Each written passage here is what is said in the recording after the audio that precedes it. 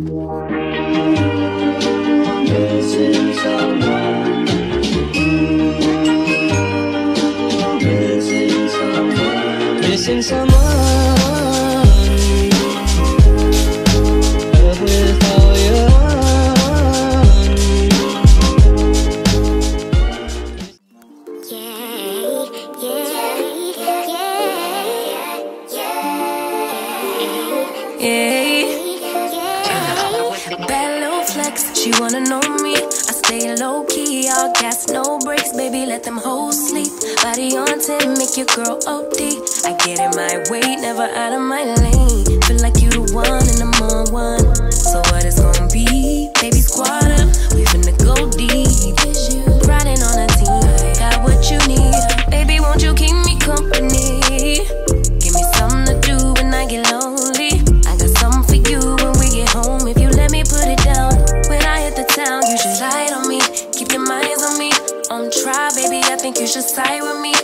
solid one time if you lie with me. Just promise you never lie to me. Keep the moves on tuck. I know it's all up. Everything good. Keep the vibes on crush. I know it's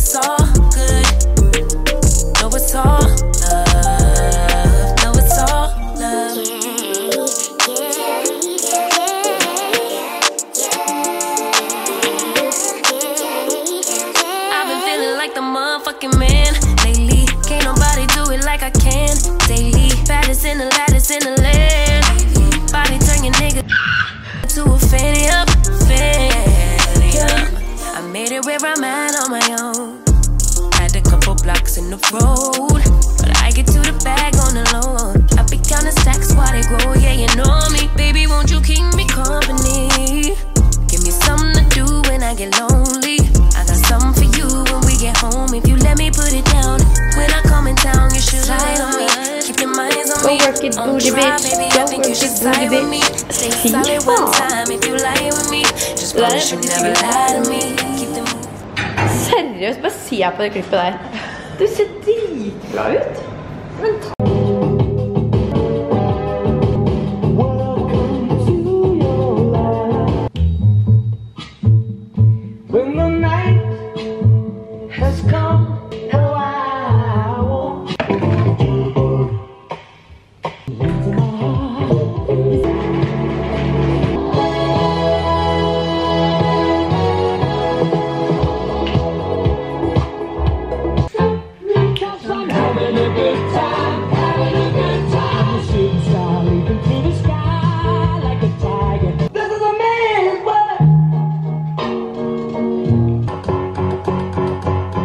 and to the kitchen pour myself a cup of ambition and make love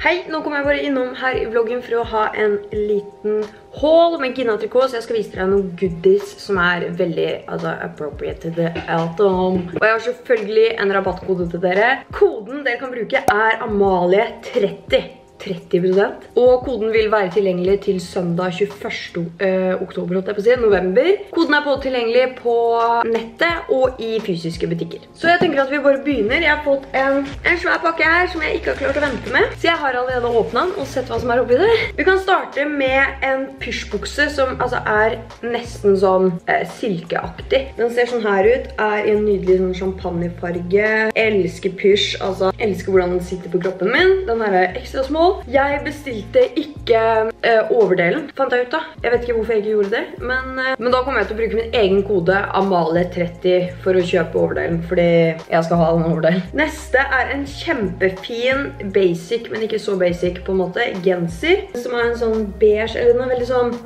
kremhvit farge med disse, eh, eller sånn bølgesømmene. Og så har den splitt på armen, som jeg synes er veldig sånn elegant. Så den en turtleneck, og jeg elsker de de- detaljene med den sømmen. Det er så sykt fint, og den her sitter tight, og den her har jeg også i ekstra small. Neste er en bukse. Ja, det er i hvert fall Gina Tricot Perfect Jeans, og så er den straight leg, og den her har jeg størrelse 34. Jeg har allerede prøvd den, og den passer veldig bra, men jeg kunne sikkert gått opp en størrelse, eh, kun for at den skal sitte litt mer baggy på meg. Men nå sitter den som et skudd i hvert fall. Den er dritfin, er en sånn eh, svart washed out farge, har avklipte ben, holdt jeg på å si, og er straight leg, og de her liker jeg skikkelig godt. De er både fine til å bruke til pent og til vanlig. Neste jeg har er en sånn glitteraktig topp. Den er grønn, eh, har en turtleneck og lange armer med splitt den her også. Den ligner litt i fitten på den jeg viste som er kremhvit. Men den har masse sånne bittesmå glitterpartikler på seg. Er stram, men den har også en splitt på sidene her, som vil se veldig bra ut med eh, bukser, low-waista, highwaist og whatever you want. Så jeg tok den her i ekstra small, og jeg synes også den her kanskje blir perfekt nå når det går mot jul. Et juletre. Og når vi snakker om jul, så er det jo sesong for julebord, og alt sånt her kommer, så da tenkte jeg å bestille meg hjem en pen kjole. Så den her har jeg ekstra small. Den ser sånn her ut. Den har masse sånne frynser og scruncher, og alt så foran her synes jeg det var en skikkelig fin detalj at det er en litt, bitte litt sånn cutout. Så har den litt sånn puffy skuldre, langarma, jeg elsker langarma kjoler. Og så er den sånn, det er en sånn kort kjole, silkemateriale da, som ser veldig slik ut. Tror jeg kommer til å bruke det på noen julebord eller noe. Jeg skal jo på så sjukt mye julebord i år at uh, fytti rakkeren, og jeg må pynte meg som bare det. Neste her er en beanie som er beige, og jeg har ikke beige luer, men jeg elsker luer. Spesielt sånne her chunky luer. Åh, så chunky og fin. Sånn tjukk søm som jeg elsker, og den har sånn fluffy lue liksom. Så har jeg en slags skjorteting,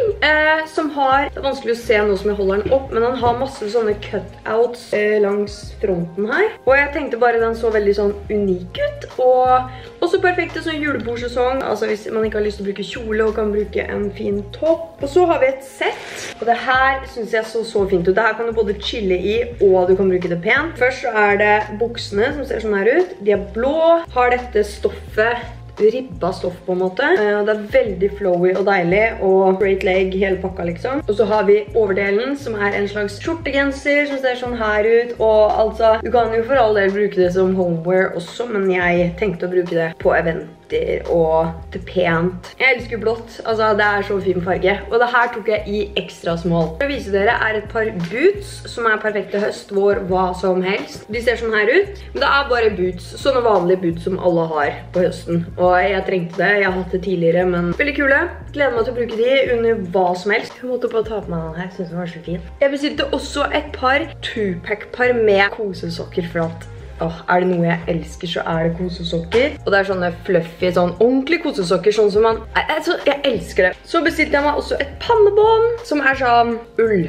Sykt fint, og jeg har ikke pannebånd, og jeg synes pannebånd er sykt fint å bruke, spesielt når man har hestehale og sånt, og jeg bare, åh, jeg elsker det. Elsker det. Og så tenkte jeg å vise dere, fordi Gina Tricot har jo ikke bare klær og jewelry og vesker og sånne ting. De har jo også faktisk interiørting.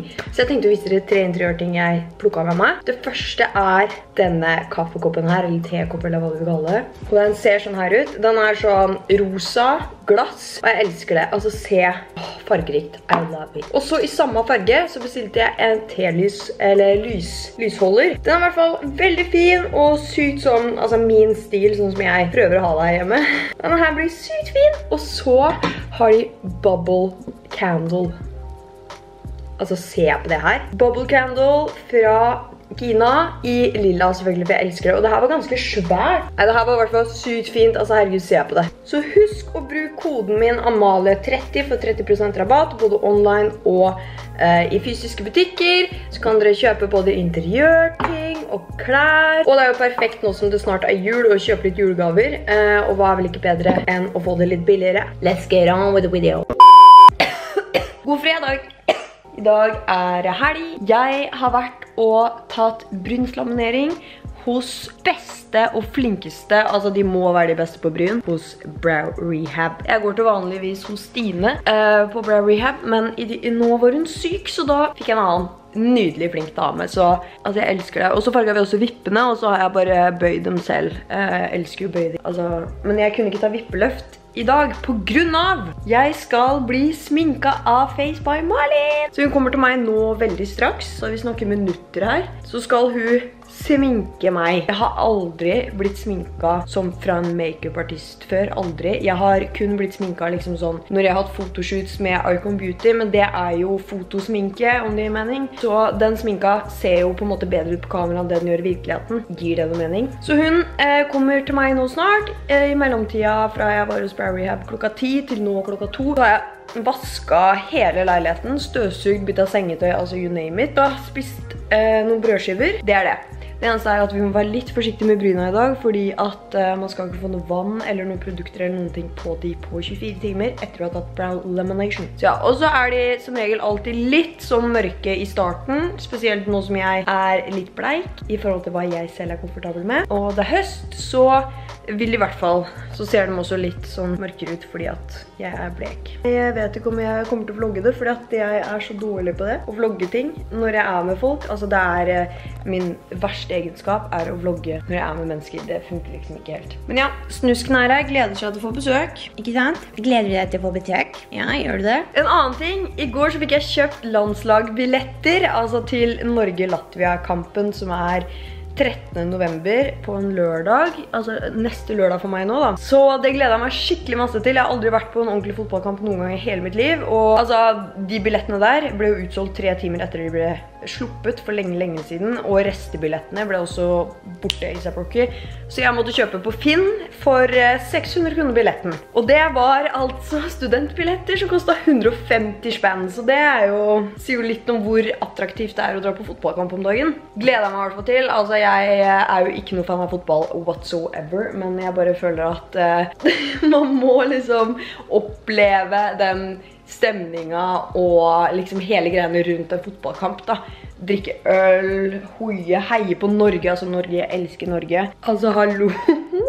Who is she though? Så nå har, eller Marlin dro for sånn, jeg vet ikke, 40 minutter siden. eh, og hun gjorde den her nydelige cat eye sexy ass motherfucking looken. Det gjør meg vondt i hjertet og måtte ta den av snart. Og jeg har aldri følt meg som en mer influencer enn det jeg gjør i dag. For at nå har jeg faen meg blitt sminka av makeupartist. Er ikke det sånn influencer-greie? Og så skal jeg ikke en dritt. Så jeg bare drivet og tatt bilder i et festantrekk. Eh, skal redigere de, poste de og føle meg sexy as motherfucking bitch. Og så skal jeg ingenting. Jeg har bestilt meg sushi. Jeg skal sitte og prompe i den sofaen her i hele kveld. Jeg skal absolutt ingenting. Jeg skal kun ha en fredagskveld her hjemme. Og det har egentlig vært en veldig produktiv dag, bortsett fra at ehm, Nei, bortsett fra hva? Det har vært en produktiv dag. Jeg har ehm, vært hos Brow Rehab, og så har jeg da blitt sminket av Marlin. Nei, først så, vaska jeg, og så ble jeg sminket av Marlin. Så jeg vil bare gi en stor shoutout til Face by Marlin.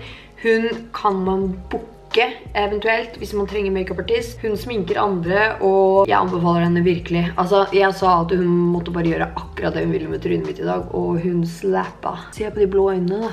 Hallo. Nå skal jeg bare rydde opp eh, litt, og så skal jeg redigere bildene av meg selv, og så skal vi spise sushi. Og god mandag. Ja, i dag er det mandag, som jeg sa. Jeg vært på butikken nå. Klokka er ti på morgenen. Jeg sov egentlig alt for lenge i dag. Eller, det er ikke noe som heter det. Når jeg har mulighet til å sove ut, så burde jeg gjøre det. Og ta disse godene fra denne jobben man har. Det er litt vondt i halsen i dag. Det orker jeg ikke. I hvert fall, jeg sov til klokka halv ti eller noe sånt. Og det er ikke mye i det hele tatt, men jeg bare orket ikke å stå opp. Og så kjøpte jeg tre ting jeg skal prøve ut nå, som ikke jeg har prøvd før. Og det første er Havre Oatly sin sånn sjokolademelk. Jeg har ikke smakt sjokolademelk av dem før, så den gjør skikkelig sånn dritt da. Jeg er glad jeg kom opp i butikken, liksom, fordi jeg hadde ikke noe frokost. Jeg har jo mat, men jeg hadde ikke frokost. Eh, Jeg synes personlig Alpro sin er mye bedre. Den er smakt smakte litt rart, liksom. Neste så fant jeg noen kjeks som jeg aldri har sett før. Ulrike Chocolate Taylor. Kan du slutte? For det er en avdeling på den butikken som er litt sånn utenlandsk mat. Det står sandwich biscuit filled with marshmallow. Da ble jeg litt sånn, mm. Ok, sånn ser den ut. Mm. Nei, nei, nei. Neste er pickles. Tenker jeg bare smaker. Mm. Hva vil du gjøre ettersmak på de her? Jeg tror ikke dette var den perfekte smaken, for det er liksom... Ah.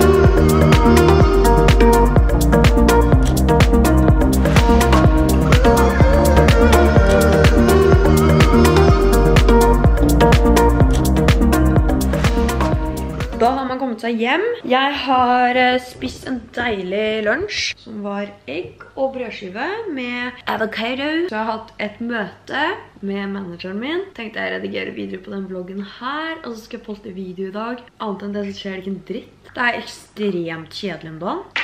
Da må jeg bare si, det som skjer, det skjer liksom hjemme, og det blir liksom aldri mellomting da. Mellom å ha at ting skjer hele tiden, og at ting skjer innimellom. Så øh, jeg bare kjenner at det er litt sånn depressivt om dagen. For å være helt en, ærlig. Nei, øh, skal jeg bare gjøre det samme gamle. Vanlig, jeg våkner opp automatisk, jeg. Det var en Bombay. Missing someone